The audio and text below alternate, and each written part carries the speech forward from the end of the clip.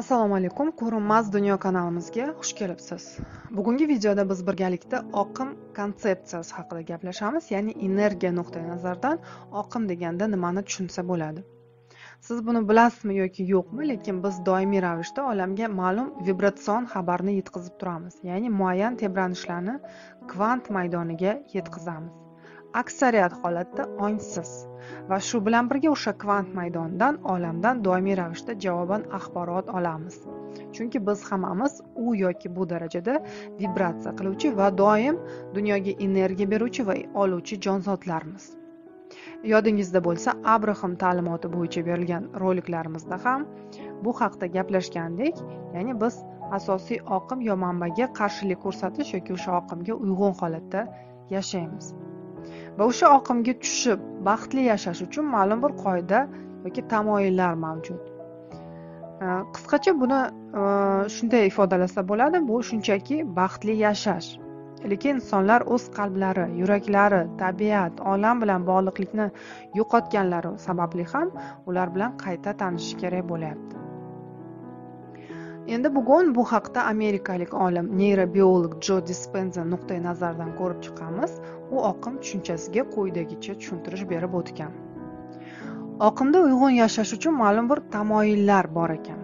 Bu tamoyillar sizni kelajak hayotingizga ta'sir ko'rsatishi mumkin. Qanday qilib? Odatda insonlar aksariyat hollarda o'z umrlarining katta qismini tashqi dunyo sharoitlariga reaksiya qilib yashab o'tadilar. U tanish bo'lsin yo qarindosh urug' yoki ishi yo biror bir borar joylari bo'lsin. Bu degani odamlar ko'pincha tashqi olam sharoitlariga javob tariqasida reaksiya qiladilar va u yoki bu munosabatda bo'lishni boshlaydilar. Albatta buni yomon joyi yo'q. Biz hammamiz qandaydir olamga javob qilamiz va ana shu kechinmalarimiz mahsuloti bu emotsiya ya'ni hissiyot hisoblanadi. Va demak emotsiya bu o'tmishning yozuvidir ana endi birinchi tamoyil. Agarda siz har kuni bir xil emotsiya hissiyotni his qilib yashasangiz emotsiya esa bu o'tmishning asorati sifatida tanada qolgan avvalgi hayotiy tajribaning kimyoviy oqibati bo'lsa unda siz o'sha o'tmishda qolib ketgan bo'lasiz degani. Va agarda siz o'z e'tiboringizni ana shu emotsiyalarga qaratsangiz unda qayerga o'z e'tiboringizni qaratsangiz unda o'sha energiya ham shu yerda shu yerga yo'llangan bo'ladi. Bu degani qanchalik ko'p vaqtni o'sha emotsiyalarga sarflasangiz demak shunchalik ko'p energiya o'tmishga qarab ketaveradi bundan birinchi qoida kelib chiqadiki diqqatingiz o'tmishda bo'lsa unda energiya ham kelajakka oqib bormaydi. Bu fikrni yanada rivojlantirsak unda siz o'z kelajagingizni o'zgartirmoqchi bo'lsangiz demak avvalambor o'z energiyangizni o'zgartirishingiz kerak. Xo'sh siz o'z energiyangizni qanday qilib taratasiz? Sizni fikrlaringiz kvant maydoniga oddiyroq aytganda olamdagi imkoniyatlar maydoniga ma'lum bir xabarni yetkazadi. Aynan sizni ongingizdagi o'ylovlar ana shu maydonga ta'sir ko'rsatadilar. Maydondagi axborotga ta'sir qiladilar. Uni kvant maydonidagi elektr zaryadi sifatida tasavvur qilsangiz ham bo'ladi. Siz his qilayotgan tuyg'ular esa xabarni yo hayotiy tajribani sizga qaytarib olib keladi. Ya'ni emotsiyalar bu o'ziga xos magnit zaryadiga o'xshab xizmat qiladigan va uni boshqacha qilib jalb qilish deb nomlasa bo'ladi. Hamma narsa o'z o'zidan sizga tortila boshlaydi va siz nimani o'ylashingiz hamda nimani his qilishingiz birgalikda umringiz barcha sohalarga ta'sir qilishni boshlagan holda olamga elektromagnit to'lqinlarni jo'natishni boshlaydi.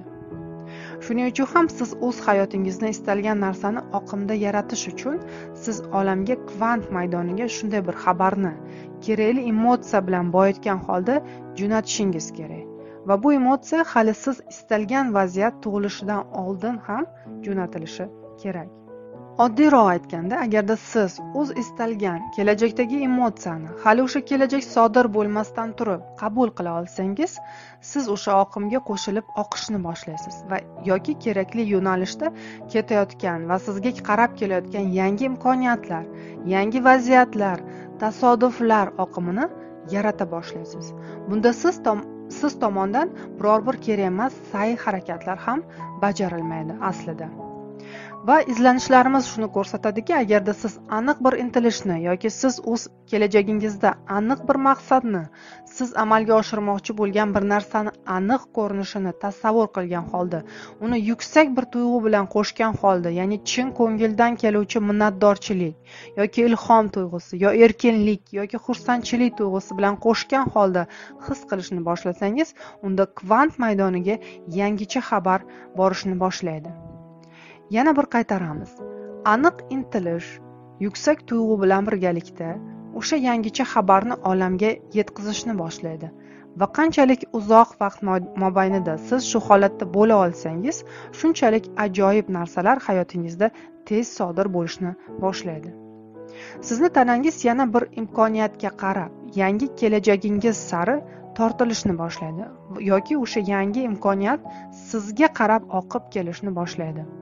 Energiya xabari sifatida. Endi bu yerda o'zimizga shunday bir savol bersak bo'ladi.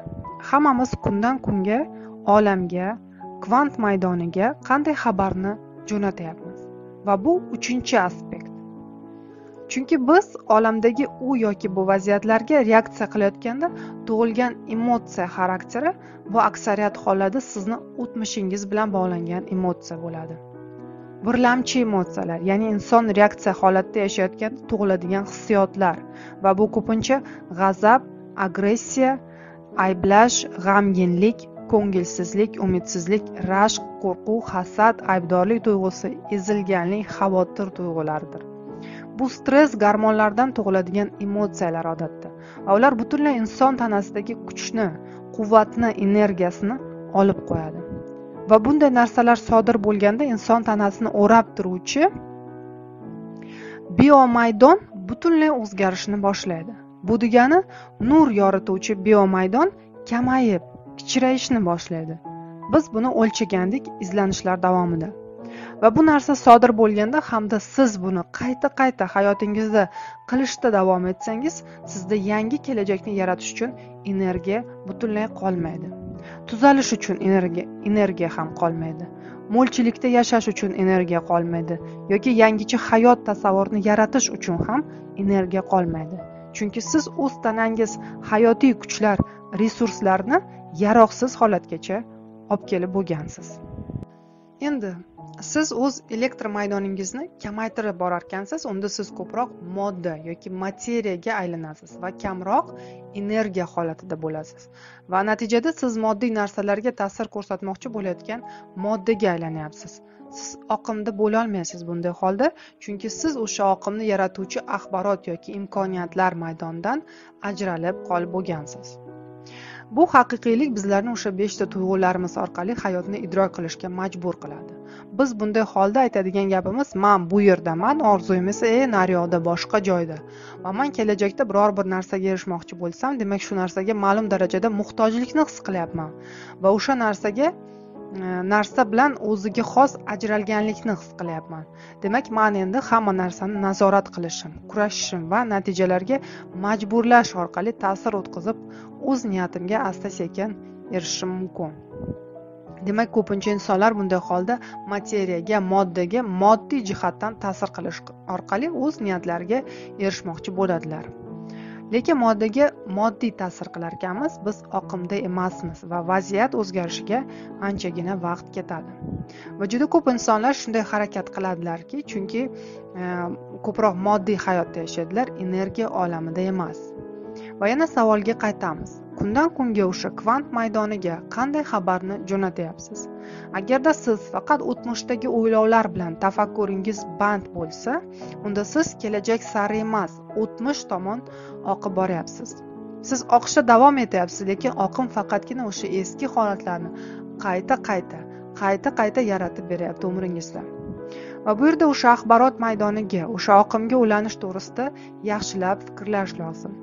Ana shu paytda siz o'z yuragingizni ochishni boshlaganda o'sha yuksak tuyg'ularni his qilishni boshlaganda yuragingiz kogerentlik holatiga o'zini magnit maydonini yaratuvchi yurak holatiga o'ziga xos tartib holatiga kelishni boshlaydi.